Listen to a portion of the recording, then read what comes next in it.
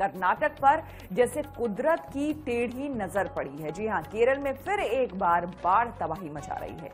यहाँ बारिश, बाढ़ से 35 लोगों की मौत हो चुकी है। वहीं कर्नाटक में भी बाढ़ कहर बनकर टूट रही है।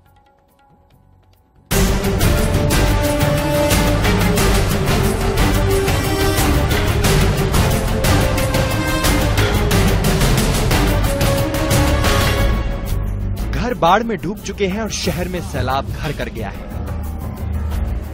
पूरा शहर पानी पानी है। घरों के अंदर पानी, घरों के बाहर पानी, मंदिरों में पानी, स्कूलों में पानी, एयरपोर्ट तक पानी पानी कोई ऐसी जगह नहीं बची जहाँ पानी का कब्जा ना हो।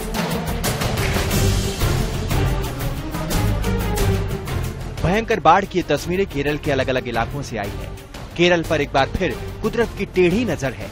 बारिश और बाढ़ ने जैसे केरल से कोई बदला लेने की ठानी हो।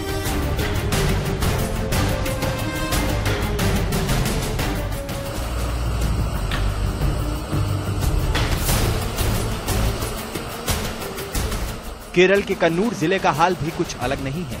यहाँ भी भगवान का दर बाढ़ की लहरों की भेंट चढ़ चुका है। मंदिर के अंदर पानी की लहरें दौड़ रही हैं और कोई भी कोना ऐसा नहीं बचा है, जहाँ बाढ़ ने कब्जा नहीं कर रखा है। मंदिर में कई फीट तक पानी ही पानी जमा है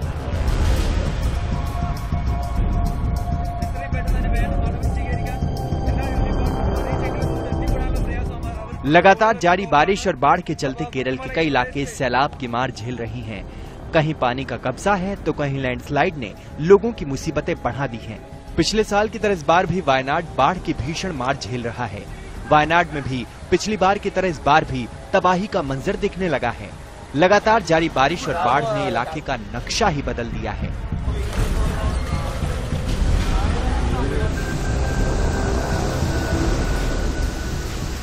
तस्वीरें कोच्चि की हैं। इन्हें देखकर हालात का अंदाज़ा आसानी से लगाया जा सकता है। ये हालात एयरपोर्ट के हैं, जहाँ इतना पानी अंदर आ चुका है कि प्लेन को पानी के बीच से रस्सियों के ज़रिए खींचा जा रहा है। एयरपोर्ट के रनवे और बिल्डिंग के अंदर लहरें घुस चुकी हैं। केरल के करीब सात ज़िले भीषण बाढ़ की चपेट में है। हालात का जायजा लेने के लिए सीएम पिनरई विजय ने अधिकारियों के साथ मीटिंग की है।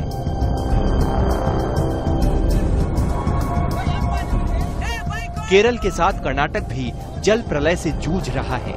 यहाँ के गडक इलाके में भारी बारिश के बाद नदी नाले उफान पर हैं। यहाँ पर स्कूटी सवार ने पानी से घिरी सड़क से गुजरने की कोशिश की, लेकिन इस खतरनाक कोशिश में स्कूटी सवार लहरों का शिकार हो गया और बाढ़ में बह गया।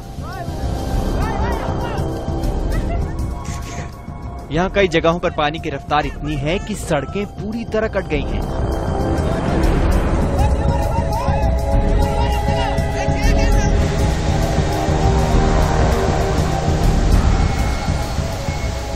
बारिश से नदी की लहरें उफान पर आईं तो बाँध बेकाबू हो चले। हासन ज़िले में बाँध के सारे गेट खोलने पड़े। जैसे ही गेट खोले गए, पानी इतनी रफ्तार से निकला कि लहरों के वेग ने लोगों को डरा दिया।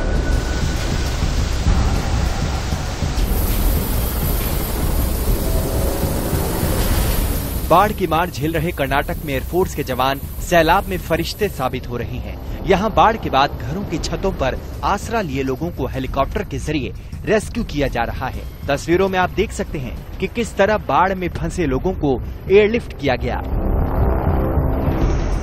सैलाब के संकट के बीच सीएम येदियुरप्पा ने हेलीकॉप्टर से बाढ़ ग्रस्त इलाकों का दौरा किया। इस बीच येदियुरप्पा ज़मीन पर भी उतरे और लोगों के बीच पहुँचे। सीएम से मदद की गुहार के लिए लोगों की भीड़ इतनी बढ़ गई कि हालात पर काबू पाने के लिए पुलिस को लाठी चार्ज तक करना पड़ा। वायनाड से गोपी उन्निथन बेलगावी से नोलन, पैट्रिक पिंटो के साथ नागार्जुन, आज तक।